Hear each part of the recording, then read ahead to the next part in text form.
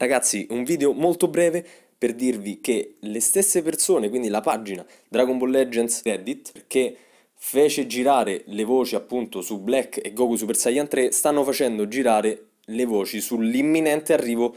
di un banner con Gogeta Super Saiyan Blue e Broly Super Saiyan, oltre appunto al Broly free to play di cui abbiamo già parlato più volte sul canale. Quindi anche questi due banner che sono stati aggiunti oggi, quindi il ritorno di Gogeta con Janemba e di Bardock con Freezer, in più quello Android, sono dei banner, tra virgolette, definiamoli trappola, nel senso che, ok, se ci manca Gogeta si può provare, ma non spendete troppe, troppe crono, non le spendete perché, perché stanno per arrivare appunto Gogeta Super Saiyan Blue e Broly Super Saiyan.